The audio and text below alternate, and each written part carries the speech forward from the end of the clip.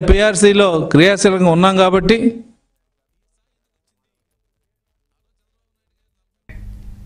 AP ప్రభుత్వ సలహాదారు సజ్జల రామకృష్ణారెడ్డి మీడియాతో మాట్లాడుతున్నారు. లైవ్లో చూద్దాం బాగా నేను చెప్పదలుచుకున్నది ముందు నుంచి చెప్తున్నది. ఒకటి ఆ రోజు ప్రభుత్వంలోకి రాగానే అంతకుముందు ఉన్న ప్రభుత్వం ఇరవై శాతం ఐఆర్ ప్రకటించడం అమలు చేయకుండా వెళ్ళడం జగన్మోహన్ రెడ్డి గారు ఎన్నికల్లో నాకు ముందు చెప్పినట్టుగానే రాగానే ఇరవై ఏడు శాతం ఐఆర్ ఇవ్వడం అది చరిత్ర అయిపోయింది.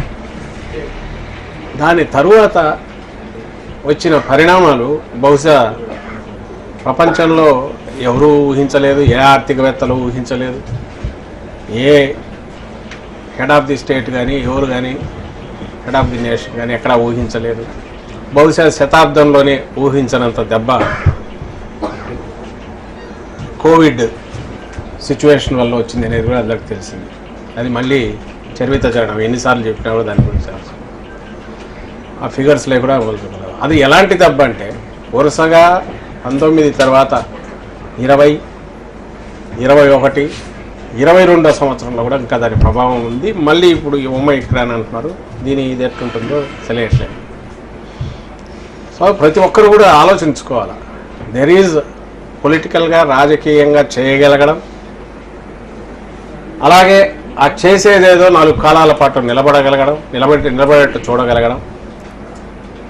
ఏదైనా ఫెయిర్గా ట్రాన్స్పరెంట్గా ఆనెస్ట్గా అన్నిటికంటే నిజాయితీగా చేయడం అనేది అతి ముఖ్యమని నమ్మే నాయకుల్లో జగన్మోహన్ రెడ్డి గారు ప్రథమ వరుసలో ఉంటారు. అది ఆయన ఈ పదేళ్ళ జర్నీలో ప్రయాణంలో చూస్తే అందరు గమనించారు.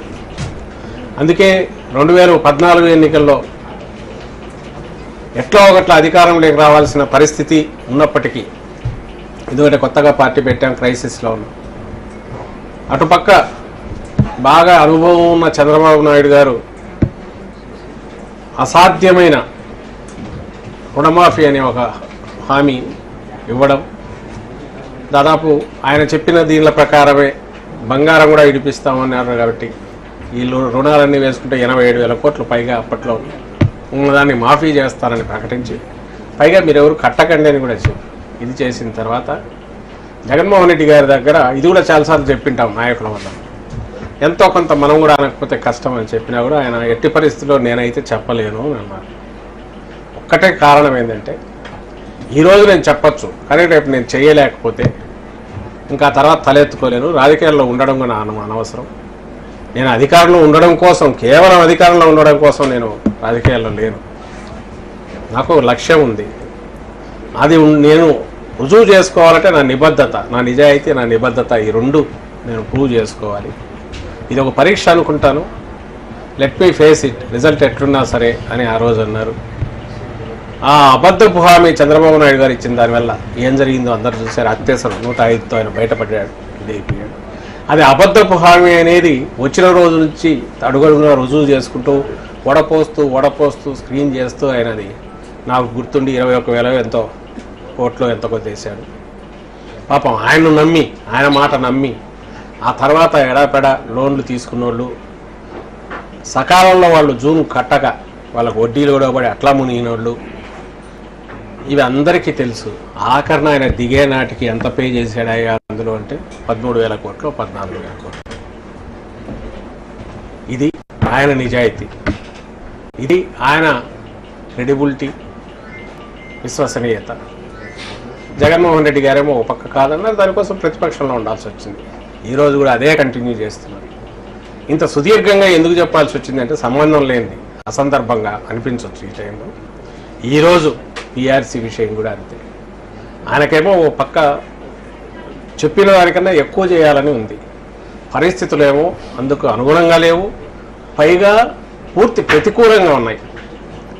ఈ పరిస్థితిలో కేవలం ఏదో చెప్పేసి చేసేసాం అనుకోవడం అంటే తర్వాత వచ్చే పరిణామాలు వీటన్నిటికీ బాధ్యత వహించడం నైతికంగా అట్లీస్ట్ తనకు తాను అనుసరించుకోవాల్సి ఉంటుందనే ఉద్దేశంతో అది పూర్తిగా నిర్లక్ష్యంగా చేసినట్టు అనిపించుకుంటుంది. But at the same time ఇటుపక్క చూస్తే ఈ కుటుంబాలు ఉద్యోగుల కుటుంబాలు ఈ ఉద్యోగులందరూ మన టీంలో పార్ట్.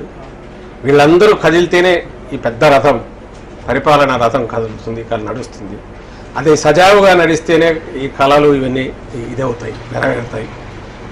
ఏ పథకాలు అయితే పెట్టావో రాష్ట్రాన్ని మొత్తం సుభిక్షం చేసే పథకాలు ప్రజల జీవితాలు పేదల జీవితాలు సుసంపన్నం చేసే పథకాలు. వీటన్నిటినీ వీళ్ళ అండ వీళ్ళ అందదండ వీళ్ళ పార్టిసిపేషన్ పాత్ర ఉండాలి.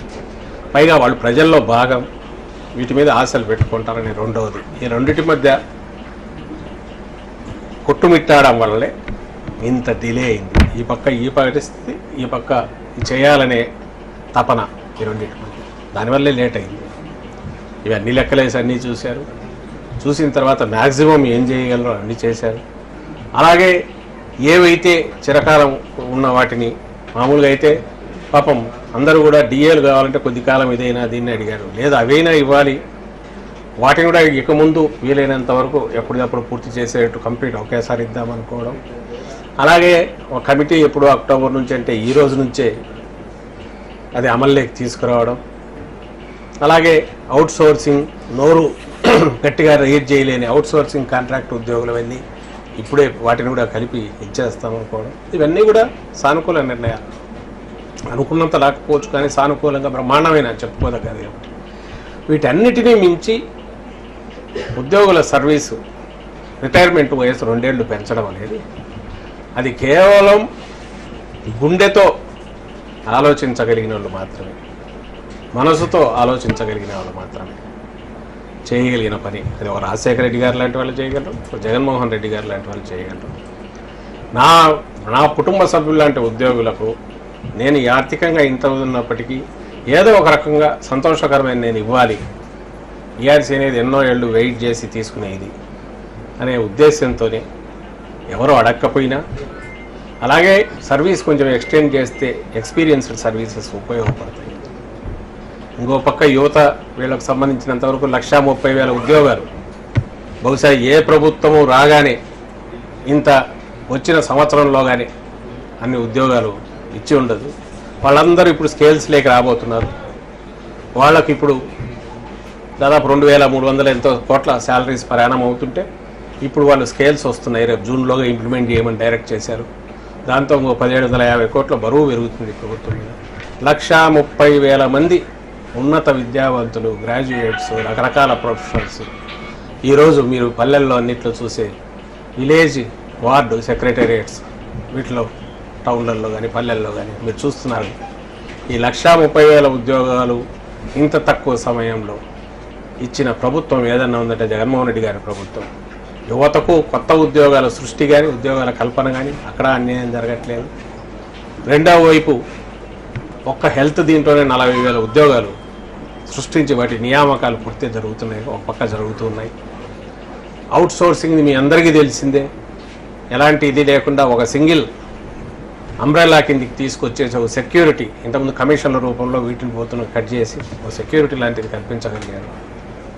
ఉన్నంతలో మీరంతా నా మనుషులు నా టీం సభ్యులు అందరం కలిస్తేనే రాష్ట్రాన్ని ఇది చేయగలమనేది ఆచరణలో చూపిన ముఖ్యమంత్రిగా జగన్మోహన్ రెడ్డి గారు ఈరోజు మరోసారి రుజువు చేసుకున్నారని నేను భావిస్తున్నాను ఈ అరవై రెండేళ్ళకి ఇవ్వడం వల్ల ఎందుకంటే రేపు ఇది రాబోతుంది.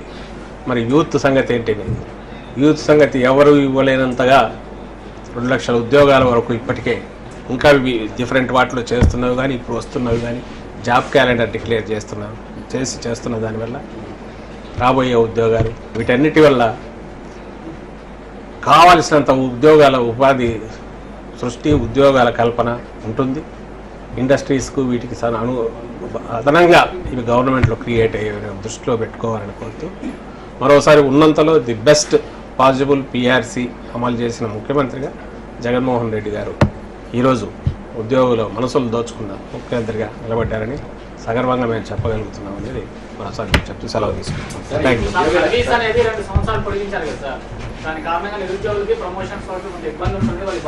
అదే నేను అంటున్నా కదా నిరుద్యోగులు లక్ష ముప్పై వేల ఉద్యోగాలు వచ్చిన సంవత్సరంలోనే క్రియేట్ చేయడం ఒకటి. అలాగే తర్వాత నలభై వేల ఉద్యోగాలు ఇక్కడ మన దీంట్లో మెడికల్ దీంట్లో ఒక్క దాంట్లోనే క్రియేట్ చేయడం. ఇప్పుడు నడుస్తున్నాయి రిక్రూట్మెంట్లు ఆర్టీసీని విలీనం చేశాము ఇంకో పక్క.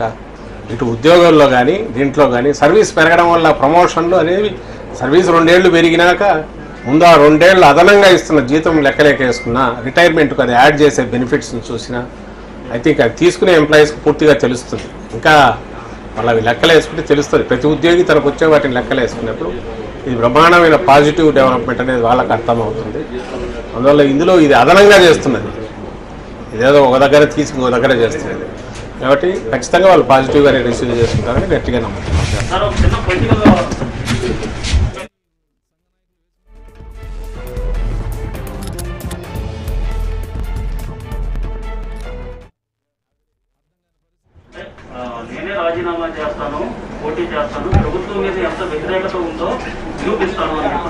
మేము ముందు నుంచి అవుతుంది అదే కదా